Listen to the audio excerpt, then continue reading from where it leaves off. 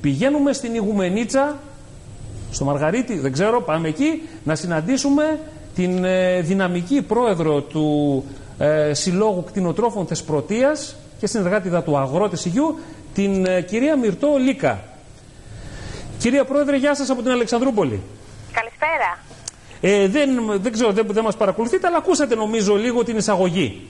Ναι, ναι, την ακούς μια χαρά. Λοιπόν, ε, συζητιέται πολύ. Έχει βγει και μια ανακοίνωση πάρα πολύ σκληρή της ε, ΠΕΚ.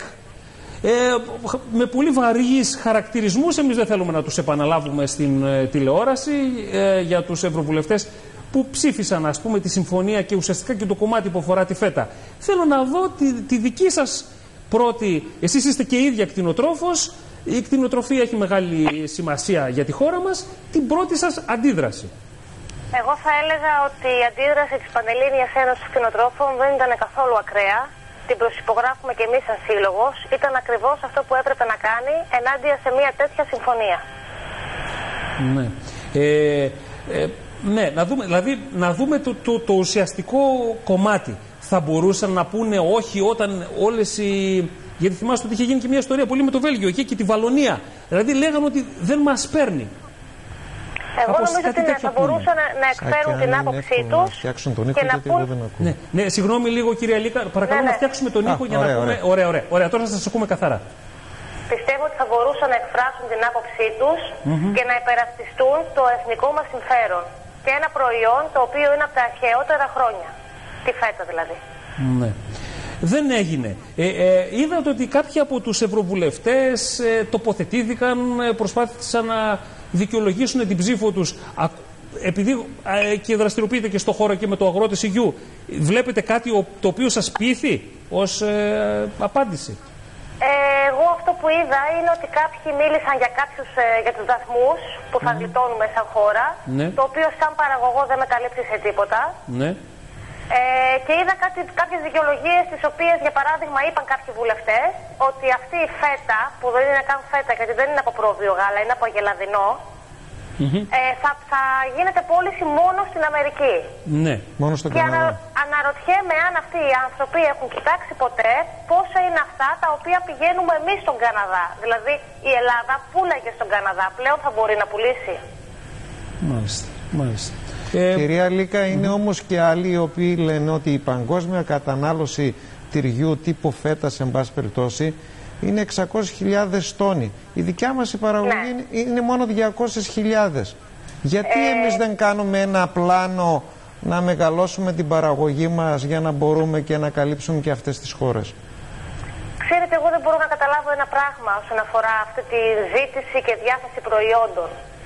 Ε, επειδή έχω σπουδάσει και οικονομικά, ε, υποτίθεται ότι όσο ανεβαίνει η ζήτηση, ανεβαίνει και η τιμή. Εμείς κάθε χρόνο έχουμε μείωση στην τιμή του γάλατος.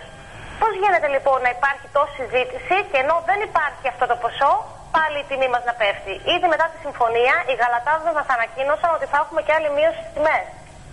ναι, ε, όπως Μη- γίνεται μη- και με τα καύσιμα, έτσι γίνεται και με το Εντάξει. γάλα. Μήπως τελικά, μήπως τελικά όμως ε, εμείς βγάζουμε τα μάτια μας εδώ πέρα κάτι πρέπει να γίνεται. Μήπως τελικά έρχονται από γειτονικές χώρες γάλατα και τα φτιάχνουμε φέτα εμείς εδώ; Γιατί Σαφώς έχουμε... και έρχονται γάλατα από αλλού. Ναι. Και το άλλο βέβαια που φοβάμαι, δηλαδή ακούγεται ότι έχουμε μια τρομερή πίεση από τους Γάλλους διότι κανονικά φέτα πρέπει να φτιάχνεται από ντόπιες ελληνικές φυλές. Όχι, όχι, εκεί πέρα έχει γίνει μια παρεξήγηση.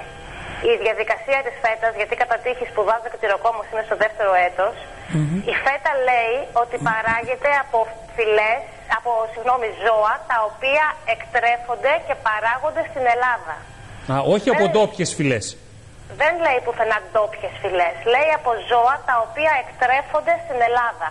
Και είναι η φέτα για το λόγο ότι τα ζώα αυτά βόσκουν στην ελληνική ύπεθρο. Στο εκεί και εμείς θα μπορούσαμε να φτιάξουμε ροκφόρ. Μπορούμε. Σωστά. Ε, η αίσθησή μου, κυρία Λίκα, είναι ότι ε, αν.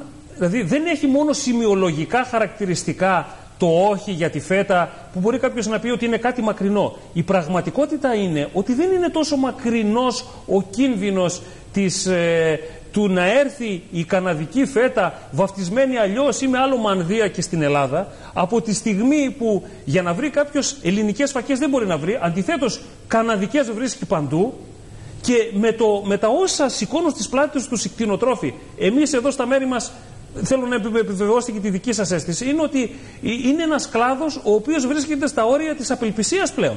Δηλαδή, με όσους συναδέλφους σας μιλούμε εδώ, λένε ότι πλέον είναι καταχρεωμένοι, δεν μπορούν να ανταποκριθούν στη στοιχειώδη τους. Πώς θα συνεχίσουμε να παράγουμε φέτα και να έχουμε κτηνοτροφία με ε, τέτοιου είδους πλέον ανοιχτές αγορές και μέσως ανοιχτές αγκάλες; Τώρα βάζουμε πολλά πράγματα ας πούμε, για συζήτηση, αλλά ε, ναι, ναι. πρέπει να τα πούμε τώρα. Πρέπει να τα πούμε αυτά.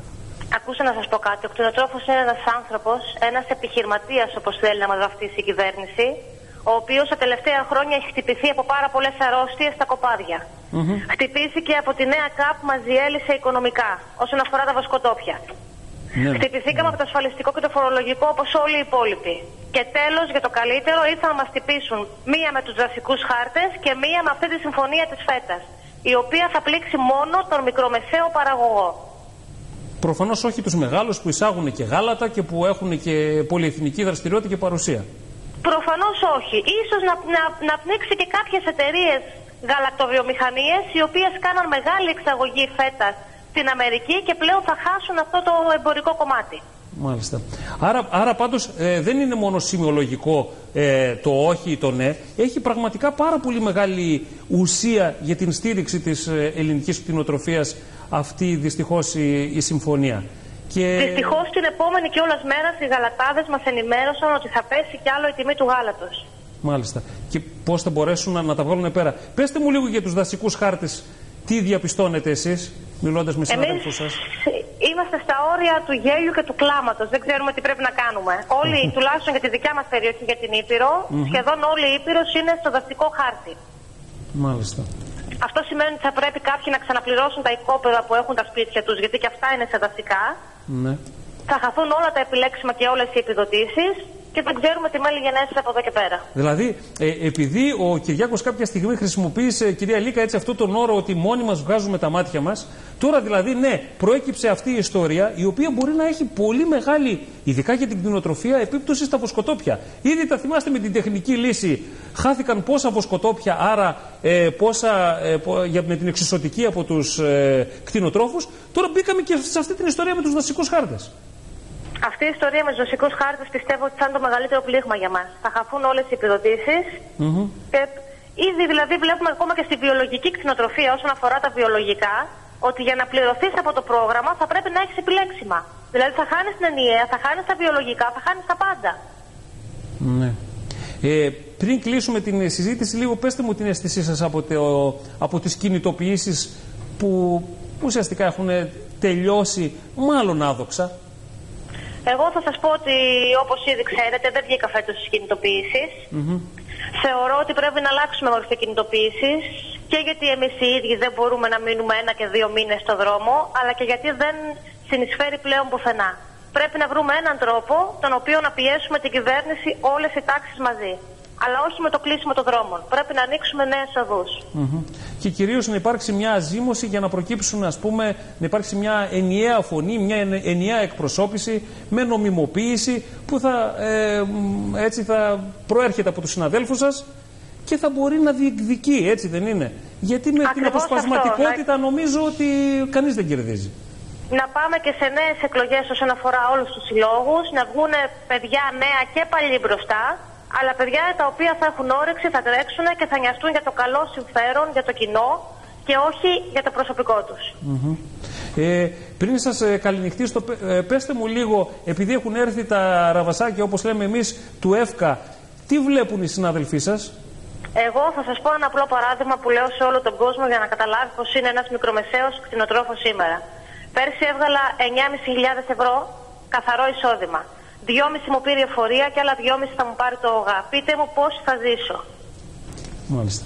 Ε, και ας... να σημειώσουμε λίγο σε αυτό απλά γιατί ο κόσμος δεν το γνωρίζει ότι στα 9,5 χιλιάρικα καθαρό κέρδος, εγώ αυτή τη στιγμή έχω έναν τσομπάνο στον οποίο έχω υπογράψει σύμβαση εργασίας 670 ευρώ γιατί υποτίθεται ότι το κράτος θα του έδινε χαρτιά και θα μπορούσα να το βάλω στο ΟΓΑ με το 10% εργόσιμο. Ναι, ναι. Για κάποιο λόγο οι υπηρεσίες δεν μας βγάζουν αφημί και άμκα, οπότε αυτά τα λεφτά φεύγουν στον Τζομπάνο μαύρα.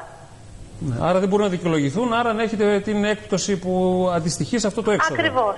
Οπότε με λίγα λόγια, όχι απλά δεν μένει τίποτα, αλλά είμαστε και μέσα. Ναι. Και κινδυνεύετε και με ε, πρόστιμο μέσω του ΙΚΑ και τα λοιπά, γιατί τώρα μπήκα μέσα από αυτή την ενοποίηση φτάσαμε και σε αυτά τα πράγματα. Μάλιστα. Φτάσαμε και σε αυτά, Ναι, ακριβώς. Ναι, ναι, ναι, έχετε δίκιο. Λοιπόν, το ερώτημά σας το θέτω σε όλους αυτούς που πρέπει να λάβουν υπόψη τι σημαίνει κτηνοτρόφος που είναι από το πρωί μέχρι το βράδυ μέσα στο ε, Μαντρί. Δεν έχει ώρα, δεν έχει μέρα, δεν έχει αργία. Ε, σας ευχαριστώ πάρα πολύ για αυτήν την επικοινωνία. Καλή συνέχεια. Καλή συνέχεια, να γεια είστε σας. καλά. Ε,